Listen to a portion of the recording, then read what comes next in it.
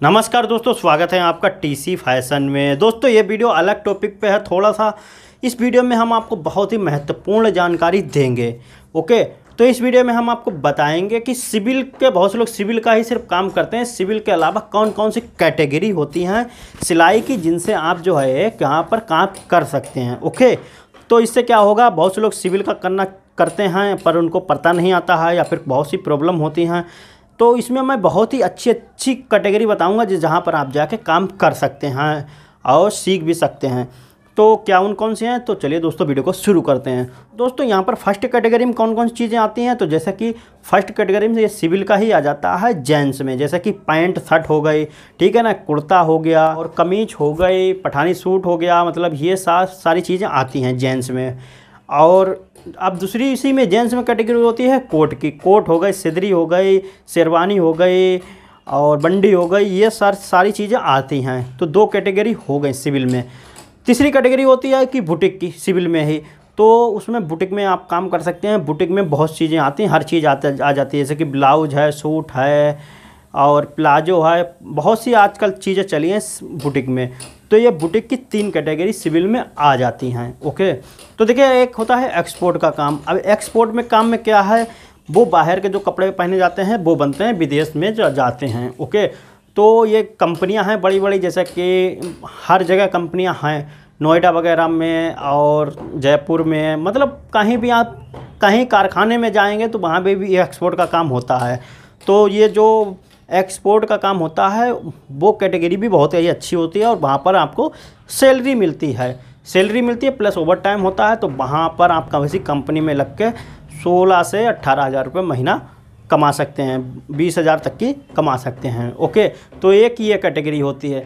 दूसरी कैटेगरी होती है रेडीमेड की। तो रेडीमेड में जैसे कि शर्ट हो गई रेडीमेड की रेडीमेड की जो हैं, कुर्ती हो गई रेडीमेड का जो है मतलब जीन्स हो गए ये जो जीन्स है, ये भी काम होता है। पर इसमें बहुत ज़्यादा मेहनत होती है और रेट थोड़े से कम होते हैं। पर अगर आप मशीन पर बैठ के काम मतलब कंटिन्यू अगर आपके स्पीड तेज़ है हाथ में तो आप अच्छी खासी इसमें भी दिहाड़ी डाल सकते हैं, सात से आठ सौ रुपये की डेली ओके तो रेडीमेड का भी काम बहुत ही बढ़िया होता है। मतलब हर चीज़ रेडीमेड में होती है। और इसे सीखने के लिए आपको ज़्यादा कुछ करने की ज़रूरत भी नहीं होती। है सिर्फ़ अगर सिविल काम सीखें तो थोड़ा सा टाइम लगेगा हाथ सेट करने में, एक से डेढ़ महीना। उसके बाद आप बहुत ही अच्छा काम उसमें कर सकेंगे। अब बात करते हैं जैकेट का। ओके, जैकेट में क्या होता है? ये जो ठंड वाली जैकेट पहनी जाती हैं, इसकी कैटेगरी आती है।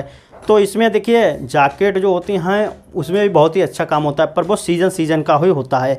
सीज़न में आपको बिल्कुल ही खाली नहीं रहने को मिलेगा। मतलब इस समय जो है ठंड शुरू हो गई है अक्टूबर, इससे पहले ही जैकेट का काम शुरू हो जाता है, एक महीना पहले सितंबर से, और जनवरी, फरवरी तक रहता है काम। तो इतने दिन तक तो आप बिल्कुल ही बिज़ी रहेंगे, आप मतलब जितना काम कर पाएँ उतना। ये भी कैटेगरी बहुत ही अच्छी है, और इसमें क्या होता है, एक लेदर का भी काम होता है साथ में। तो लेदर का काम बिल्कुल इस ये जैकेट है, इस जैकेट से बिल्कुल अलग ही कैटेगरी वो होती है लेदर की। वहाँ पर सब लेदर की ही जैकेटें बनती हैं। पर उसमें जो है, बहुत ही अच्छा रेट मिलता है पर उसमें बहुत ही हाथ रोक के काम करना होता है। बहुत ही हाथ रोक के ज़रूरत होती है, क्योंकि आपकी ये एक सिलाई लेदर में लगाएँगे और गलत हो गई तो निशान पड़ जाएँगे तो वो अल्टर होती है। तो लेदर का काम जो है, उसका रेट बहुत ही अच्छा होता है और उसमें करने वाले लोग बारह बारह सौ रुपये का काम करते हैं। बहुत ही अच्छा काम होता है और बहुत ही सुकून से काम होता है। ओके? तो लेकिन वो हर जगह नहीं होता है। चेन्नई वगैरह में मेरा दोस्त करता था वहाँ पर है और दिल्ली में भी है, काफ़ी जगह तो मतलब हर जगह नहीं है ज़्यादातर। वो भी लेकिन सीज़न ही सीज़न होता है काम। और एक कैटेगरी है जो कि बहुत ही ज़्यादा आजकल मतलब चलती है, हमेशा से चलती आ रही है। क्या है? वो हौजरी का काम। हौजरी का काम बहुत ही बढ़िया होता है। हौजरी का काम आपने देखा हो बच्चों के हौजरी के कपड़े हैं टी शर्टें हैं हौजरी की। तो ये हौजरी का काम जो है वो भी बहुत ही अच्छा होता है। तो इस वीडियो को बनाने का मतलब ये था कि बहुत से लोग ये सोचते हैं कि सिर्फ़ सिविल ही सिविल है और सिविल में ही हम काम करेंगे और नहीं है तो वो बहुत से लोग बैठ जाते हैं। तो उनको मैं कहना चाहता हूँ, बहुत जगह काम आए। आप ट्राई करें और करने जाएँ, आपके लिए बहुत काम है तो इस तरीके से आप अलग अलग जगह काम कर सकते हैं, कोई भी प्रॉब्लम नहीं आती है। तो दोस्तों, ये वीडियो आपको अच्छा लगा होगा। अगर इसी में क्या और वीडियो चाहिए तो कमेंट ज़रूर करें।